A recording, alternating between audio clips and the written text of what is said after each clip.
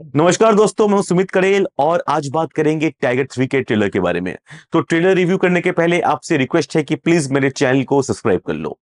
और वीडियो पसंद आए तो लाइक करना और शेयर करना। दोस्तों टाइगर थ्री का ट्रेलर मुझे काफ़ी अच्छा लगा। इट्स ए गुड ट्रेलर जो मैंने एक्सपेक्ट किया था, इसका ट्रेलर बिल्कुल भी वैसा नहीं है। मैंने एक्सपेक्ट किया था कि इसके ट्रेलर में बहुत भव्य भव्य एक्शन होंगे और बहुत ज़्यादा मारधाड़ होगी।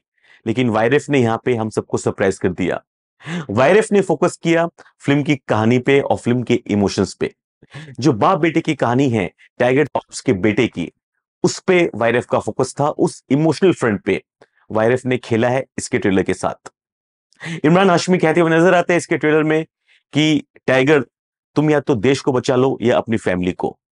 और ये जो कहानी है, ये जो बाप बेटे की और इसकी फैमिली की कहानी है, टाइगर देश को चुनेगा या फैमिली को, वो इसके कहानी की नींव है, इसकी कहानी की रीढ़ की हड्डी है और इसी चीज़ पे वायरफ ने फोकस किया है इसके ट्रेलर पे, ना कि आउट एंड आउट एक्शन पे।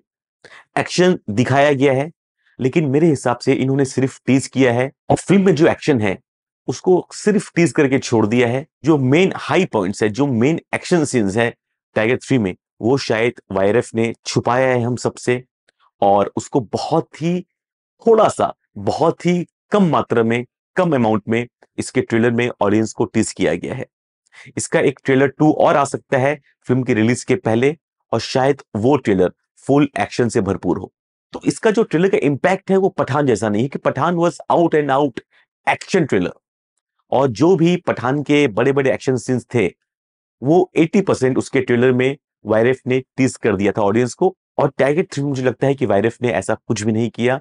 और सिर्फ़ थोड़े बहुत हाईलाइट्स ही हमें इसके ट्रेलर में दिखाए हैं। और जो ट्रंप कार्ड है टाइगर थ्री का, वो है इसका विलन इमरान हाशमी, और इसको भी सिर्फ़ टीज किया गया है। और ये फ़िल्म में बहुत ही एक क्रूअल एक बहुत ही एक मेनेंसिंग विलन आपको नज़र आएँगे, और उसको सिर्फ़ टीज किया गया है, जो कि इसके ट्रेलर को और इम्पैक्टफुल बनाता है। Salman Khan is a mega star Salman Khan YRF spy universe के जनक है। He is the OG he is the original gangster of spy universe and हर एक फ्रेम में वो छा गए। हर एक एक्शन सीन में वो छा गए। उनका जो स्क्रीन प्रेजेंस है, वो गॉड लेवल है। उनका जो एक्शन करने का अंदाज है, वो अलग लेवल का है। He is the undisputed king in this genre इस जॉनर में एक्शन फिल्म्स में इनका हाथ कोई नहीं थाम सकता, कोई नहीं पकड़ सकता। और टाइगर थ्री के ट्रेलर में सलमान साहब ने ये फिर साबित कर दिया। कैटरीना के एक्शन दिखाए गए हैं। काफ़ी अच्छे हैं, खास करके वो जो टावल फाइट सीन है, उसको देख के तो ऑडियंस को मज़ा आ गया होगा, क्योंकि मुझे ही बहुत मज़ा आया।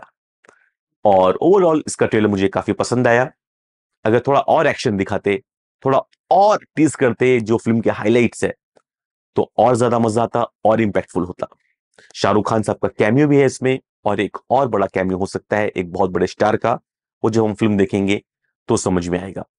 बारह तारीख को ये फ़िल्म रिलीज़ हो रही है, बारह नवंबर यानी संडे को। तो शायद ये पहली बार होगा कि कोई फ़िल्म संडे को रिलीज़ होगी और ये एक बहुत ही अच्छा डिसीज़न है जो वायरफ ने लिया है। संडे को दिवाली है तो ओपनिंग में इंपैक्ट पड़ेगा, लेकिन धनतेरस पर रिलीज़ होती तो काफ़ी ज़्यादा इंपैक्ट पड़ता। दिवाली के दिन संडे है तो जो मुस्लिम ऑडियंस है, वो ज़रूर देखने आएगी फ़िल्म को बहुत ही बड़े तादाद पे और हिंदू ऑडियंस भी आएगी। शाम को जब लक्ष्मी पूजा चालू होगा, तब इसके शोज़ थोड़े ऑक्यूपेंसी वाइज थोड़े कम परफॉर्म करेंगे, लेकिन फिर भी ये 40 से 50 करोड़ का ओपनिंग दिवाली के दिन ले सकती है और मंडे से तबाही चालू होगी बॉक्स ऑफ़िस पे सुनामी चालू होगी और 70 से 80 करोड़ का धंधा ये मंडे से कर सकती है और पूरे हफ़्ते छुट्टी है। तो ये अपने पहले वीक में ही 300 से साढ़े तीन करोड़ का बिज़नेस आसानी से कर सकती है और 400 करोड़ भी छू सकती है अपने पहले हफ़्ते में। दोस्तों, शाहरुख खान भी इसमें नज़र आएँगे बहुत ही बड़े एक्शन में। और पठान में जो शाहरुख का और सलमान का जो सीक्वेंस था, उस सीक्वेंस को बीट करना होगा मनीष शर्मा को, वैरफ को, क्योंकि आप उससे कम नहीं दिखा सकते, क्योंकि ऑडियंस की जो उम्मीदें हैं, वो बहुत ज़्यादा है। सिद्धार्थ आनंद का जो विजन है, उनका जो एक सोचने का तरीका है बड़े पर्दे के लिए, वो पठान का एक एक्स फैक्टर था। और शायद वो एक्स फैक्टर मनीष शर्मा में ना हो।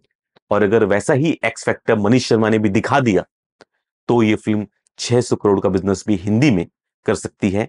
500 करोड़ तो मुझे लग रहा है कि तय है।